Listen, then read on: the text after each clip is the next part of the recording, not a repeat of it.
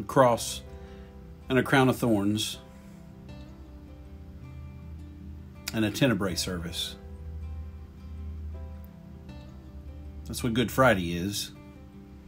A reminder of the agony and the pain, a reminder of the death, and a reminder that it isn't the end. It's Good Friday. I invite you to listen to the words as they come from Psalms and as they come from Luke. Let's listen to God's Word.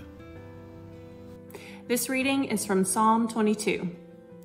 My God, my God, why have you forsaken me? Why are you so far from helping me, from the words of my groaning? O oh my God, I cry by day, but you do not answer, and by night, but find no rest. Yet you are holy, enthroned on the praises of Israel. In you our ancestors trusted. They trusted, and you delivered them. To you they cried, and were saved. In you they trusted, and were not put to shame. But I am a worm, and not human, scorned by others and despised by the people. All who see me mock at me. They make mouths at me. They shake their heads. Commit your cause to the Lord. Let him deliver. Let him rescue the one in whom he delights.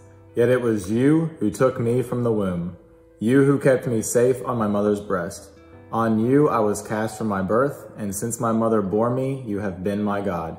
Do not be far from me, for trouble is near, and there is no one to help. Many bulls encircle me. Strong bulls of Bashan surround me. They open wide their mouths at me, like a ravening and roaring lion. I am poured out like water, and all my bones are out of joint. My heart is like wax. It is melted within my breast. My mouth is dried up like a potsherd, and my tongue sticks to my jaws. You lay me in the dust of death. For dogs are all around me. A company of evildoers encircles me. My hands and feet have shriveled. I can count all my bones. They stare and gloat over me. They divide my clothes among themselves, and for my clothing they cast lots. But you, O Lord, do not be far away. O my help, come quickly to my aid. Deliver my soul from the sword, my life from the power of the dog. Save me from the mouth of the lion, from the horns of the wild oxen you have rescued me. I will tell of your name to my brothers and sisters. In the midst of the congregation, I will praise you. You who fear the Lord, praise him. All you offspring of Jacob, glorify him. Stand in awe of him, all you offspring of Israel. For he did not despise or abhor the affliction of the afflicted. He did not hide his face from me, but heard when I cried to him. From you comes my praise in the great congregation. My vows I will pay before those who fear him. The poor shall eat and be satisfied. Those who seek him shall praise the Lord. May your hearts live forever. All the ends of the earth shall remember and turn to the Lord, and all the families of the nations shall worship before him.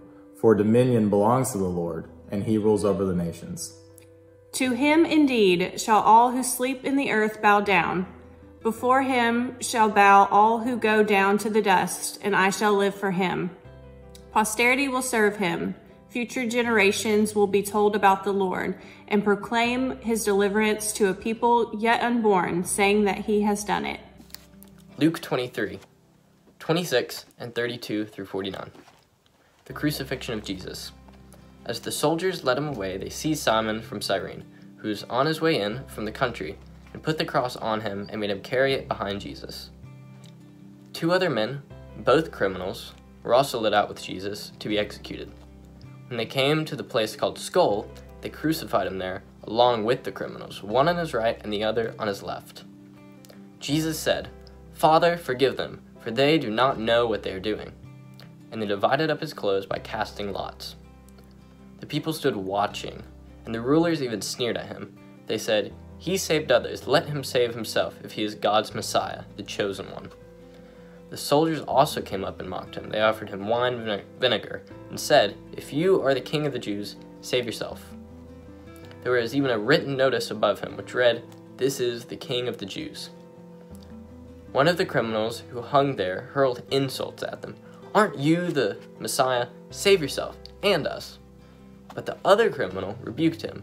Don't you fear God, he said, since you are under the same sentence.